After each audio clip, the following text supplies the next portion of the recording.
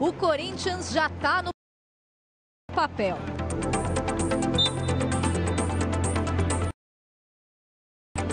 Cinco mudanças importantes. E apesar disso tudo, eles acreditam que a característica vai ser a mesma, graças a esse cara do papelzinho aqui.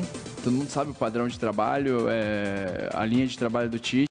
Eu acho que essa linha de trabalho dele, que ele trabalha diariamente, ajuda muito depois na parte tática, para todo mundo entender taticamente. Muito se fala sobre as baixas que o Corinthians sofreu na criação, já que perdeu os dois melhores meias do Campeonato Brasileiro o Renato Augusto e o Jadson, mas vale destacar uma outra parte do time que também tenta se reorganizar, o setor defensivo.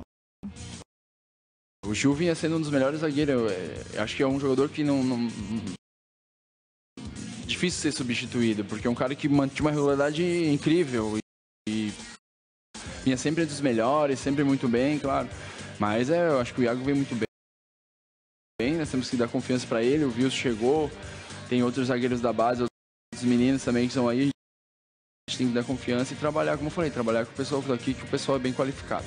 Entre tantas idas, o Cássio subiu no telhado, quase foi para o Besiktas da Turquia, mas os dois clubes não se acertaram e o Cássio se mostra muito convicto na sua permanência. Eu não sabia quanto ia ganhar.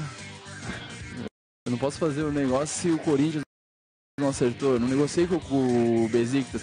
Ok, de repente sabia um, um tanto de base, mas um contrato para ser assinado tem muitas cláusulas, muitas coisas. E nesse processo de reconstrução que começa lá atrás e termina no último homem da frente, o Cássio espera paciência do torcedor. Acho que é o Love que tinha padrão de jogo, então é difícil. Acho que tem ter calma, porque até entrosar pode levar alguns jogos, pode ser que as coisas não comecem a dar certo. Claro, vamos sempre trabalhar para vencer, para ganhar, mas tem que ter paciência também, né?